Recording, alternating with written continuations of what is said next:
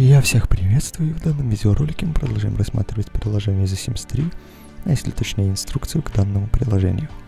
Безусловно, многие догадывались о том, что инструкция подобного типа существует, но мало кто, вероятно, видел эту самую инструкцию.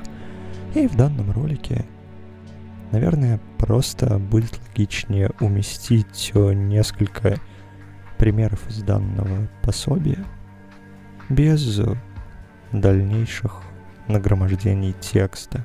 Вот и все.